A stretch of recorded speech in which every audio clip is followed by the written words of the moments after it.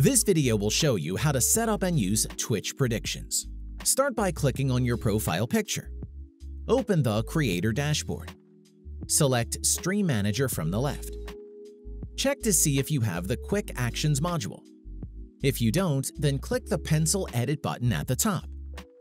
Add the Quick Actions panel from the side. Close the Edit mode.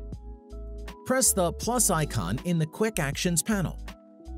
Add the Start a Prediction action. Close the menu.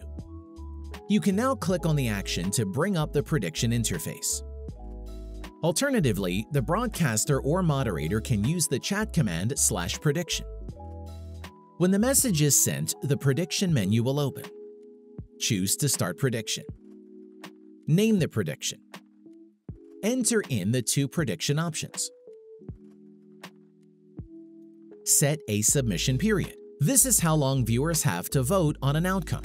Click Start Prediction. Check the option to Don't Show Again if you want, then press Got it to confirm. Once the prediction has been completed, the streamer or a moderator will need to confirm an outcome. Enter the chat command slash prediction, then press enter.